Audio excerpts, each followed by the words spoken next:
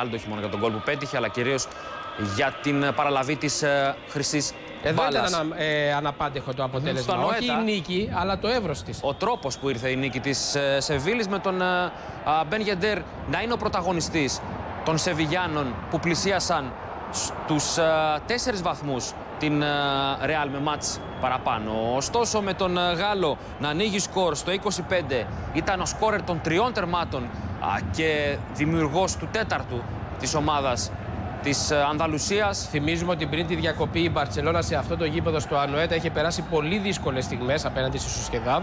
Στο 25 έχει σημειωθεί το 1-0 και στο 29 θα έρθει το 2-0 από τον Μπεν Γεντέρ, ο οποίος κρατάει την ψυχραιμία του, εκτελεί τον Ρούγι, ο οποίος φέρει ευθύνη στο πρώτο γκολ. Σε αυτό είναι εκτεθειμένος από την ε, άμυνά του. Σαν Πάολη πανηγυρίζει. Ακόμη και με σκούφο χειμερινή- καταλαβαίνουμε ναι, από, ναι. την- από τις αντιδράσεις του Τίνο Σαμπαόλη. Ναι. Στο 73 ο Σαράμπια θα έρθει να προσθέσει και αυτός ένα γκολ στην ομάδα, στην, στον απολογισμό της ε, Σεβίλης, ύστερα από ενέργεια του Μπεν Γεντέρ. Ήταν η βραδιά που έπιαναν όλα στους παίκτες της Σεβίλης και δεν έπιανε τίποτα στους ποδοσφαιριστές της Σο- Σοσχεδάβ.